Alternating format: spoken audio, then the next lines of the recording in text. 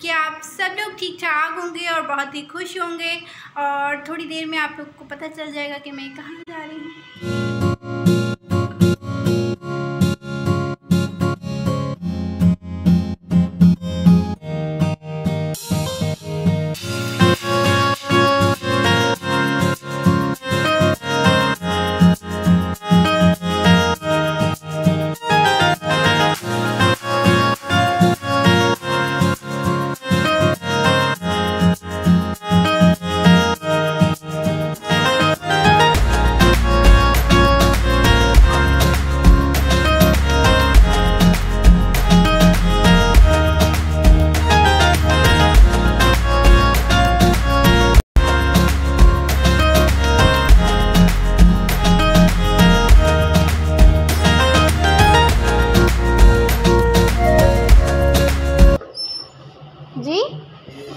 So guys यहाँ पर मैं अपना केक रिसीव कर रही थी, जो कि 1.2 के सब्सक्राइबर्स का केक था।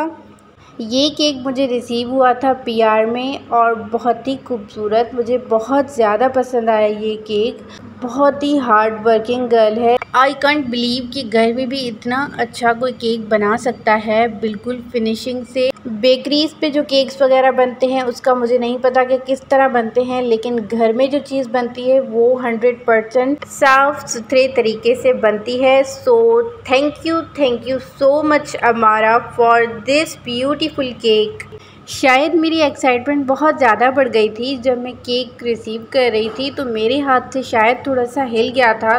थोड़ा सा केक ख़राब हो गया।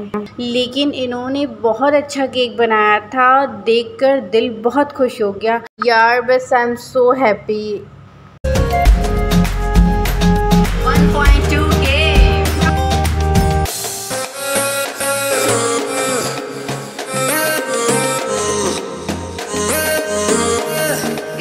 yummy cake बहुत ही अच्छा केक है तो आप लोगों ने भी अगर ऑर्डर करना हो तो मैं डिस्क्रिप्शन में लिंक मेंशन कर दूँगी, आप लोग वहाँ से ऑर्डर कर सकते हैं। केक इतना ज़्यादा टेस्टी था कि सब लोग फ्रिज खोलकर भी केक खाए जा रहे थे। सब लोगों ने बहुत ज़्यादा तारीफ़ की कि केक बहुत अच्छा है, कोई टेस्ट इसका कड़वा नहीं है। वाइट सी क्रीमी था और अंदर से जो इसका फ्लेवर है, वो है चॉकलेट फ्लेवर।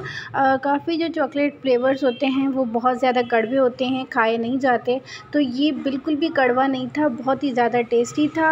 और मेरी तरफ़ से ये रिकमेंडेड है पूरा कि आप लोगों ने जब भी ऑर्डर करना हो, आप इन्हें ऑर्डर कर सकते हैं। और हर डिज़ाइन, अगर आप लोग कोई भी डिज़ाइन उनको देंगी या देंगे देंगे तो वो आपको उसी डिज़ाइन में आपको बना देंगे। केक इतना ज़्यादा टेस्टी था कि हाफ़ तो वहीं पर ख़त्म हो गया था और इसकी जो अल्फ़ाबेट्स हैं वो भी चॉकलेटी हैं और इसका टेस्ट बहुत अच्छा है। बाकी आप इनका पेज विज़िट करें, मैं डिस्क्रिप्शन बॉक्स में इनकी लिंक मेंशन कर दूँगी।